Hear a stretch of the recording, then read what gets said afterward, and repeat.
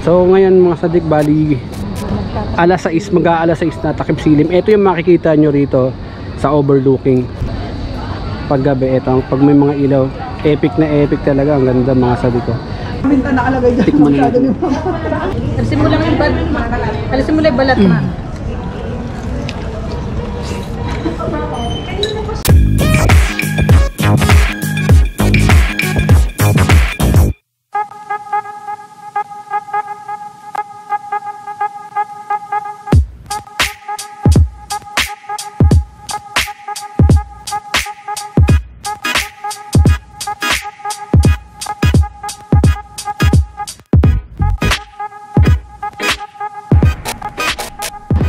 What's up mga sadik, Tom TV is in the house again. At ngayong araw na ito, nandito tayo ngayon sa may Cafe Agusta Dito sa may Antipolo. So ito yung isa sa pinakang pinupuntahan ng mga gustong makakita ng overlooking. So makakita ng fresh air at saka magkape. Tatlo lang kung bakit tayo sumasaya sa mga pinupuntahan natin. Una, ah, yung kasama mo.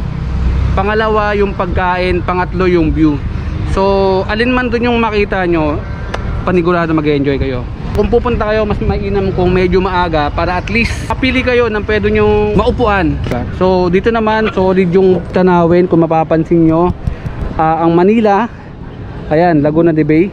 Ayan dito mamaya mga 5 pa daw bubuk i-open tong ah, outdoor nila. So meron tayong may indoor sila. Yan may aircon yung pinakita ko kanina sa inyo. Yan may indoor dito. Tapos doon di ko pa napapakita. Pero dito sa outdoor kasi medyo maganda lalo pag hindi umuulan.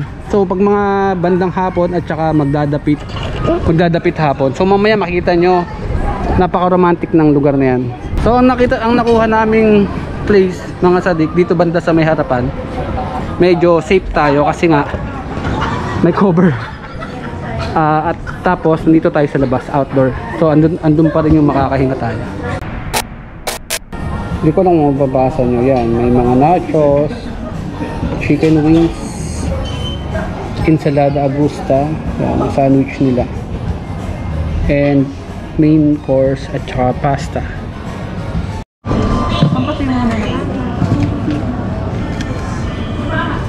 Malaki serving nila mga sadik para sa ano, sa nachos. Malaking serving nila pang ano, pantropa talaga yung ano bigayan.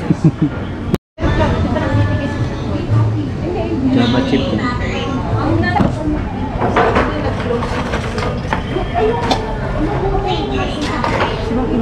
Masarap yung Java nila. Medyo matapang. Tsaka yung tamis kasi konting-konti lang. Kaya lasang-lasa mo yung Java chips nila. Solid. Masarap. Samaw ka naman tayo. Mas masarap yung Java, Java chip. Mas matapang yung chocolate. Hindi siya nakakaumay. Sa mocha naman, medyo light yung lasa. Mango and green mix salad. So, titikman naman natin ito mga salad. Walang serving. Hindi pa tama yung laban. Hmm. Pero na-move ko eh. Solid yung lasa. Orderin nyo to, mga salad. Ang sarap. Di bonggol. Pasta di bonggol. Eh, pasta di bonggol. Hindi ko alam pa paano big kasi niya. Tapos ito naman, chicken. Chicken wings. Coated with sriracha sauce. Yan o. Chicken wings coated with sri- sriracha sauce. Yan. Ano siya, 10 pieces. Titikman naman natin. Ikaw na magtumigil. Taga. Game. Ragay na. Crispy. Mm. Hindi siya nakakamay. Minta nakalagay dyan. Tikman Masyado natin. Mama. Ah, tikman na natin to.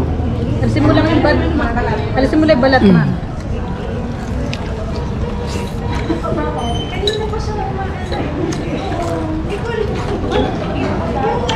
Lasa. Na ano, yung mga module na bakit. mo. Tapos yung medyo friendly spicy yung lasa niya. So, titikman naman natin tong pasta de bongolay. Yan lang ang chicken nila. So, titik natikman mo na to? Tikman natin to mga sadik. Ah! Yung unang-unang eka bang mga tipid daw ako eh. Di ba bumili mo yata?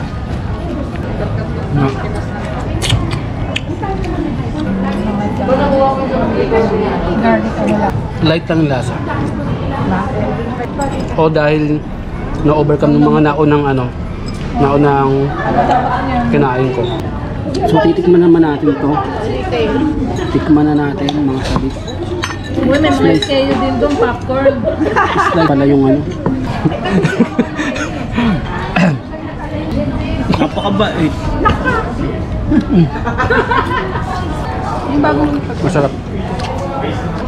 Pero ito solid. Itong salad na to mga sabit. Padilla. Solid yan. Itong ordering nyo Kapatid mo yan. chatong chicken. Kakasabay kami dun eh. Pero pwede rin ito piga-piga. Ang dami na ito yun. So ngayon mga sadik bali alas 6 mag-aalas 6 na takip silim. Ito yung makikita nyo rito sa overlooking. Sobrang lawak nung ano. Makita nyo yung Manila yung Laguna de Bay tsaka etong ano Manila na to. Lawak. Iba pag nasa video mga sadik tsaka pag nandito ka sa personal. Sobrang ganda. Ito naman yung ano paggabi. Ito pag may mga ilaw epic na epic talaga. Ang ganda mga sabi ko sa taas ginagawa pa pero pag naayos na yan mas maganda tumambay sa taas lalo pag hapon. Yun ganda oh. Ito yung pinakang outdoor nila. Tapos may indoor yun sa loob. Yung mga malamig. Tapos meron pa rito sa side na to ay dito ko na lang para hindi na pumasok. Yan dito meron pa rin dito yeah meron pa dito. So overall maganda naman tara So, bali update lang tayo mga sadik. Overall, masarap naman yung pagkain. Kung ano yung binayaran nyo, may justisya naman. Solid yung mga pagkain na matitikman nyo, yung mga pinakita namin sa'yo. Sa view naman, solid rin naman. Pag pupunta kayo rito, medyo agahan nyo para at least meron kayong pwesto mada mapupuntahan. At syempre, papabot kayo ng medyo gabi para makita nyo yung view na yung sa Manila maraming ilaw maganda tingnan.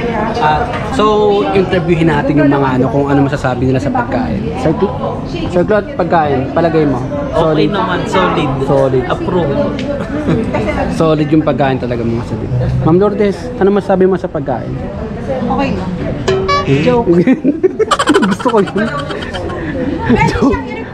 Pwede siya. Ayun. Masarap yan. Ayan, ma'am, kay Mother Earth. Mother Pwede Earth. siya, oh, pwede siya i-recommend. Yun, pwede ni-recommend talaga. Ma'am Lani ah. Ma'am Pe. Yan. So solid yung ano pagpunta Cafe Agusta. Pwede siyang i-recommend sa pagkain at sa view. Tatlo lang pinupuntahan ng mga tao sa isang lugar. Um, pagkain, yung view, tsaka yung kasama mo. So, solid naman kasi yung mga kasama ko masaya. Yung view maganda, yung pagkain solid. Kaya, Cafe Agusta, good job. At hanggang dito na lang, maraming maraming salamat. Magkita-kita tayo sa next vlog. Peace out! Damn.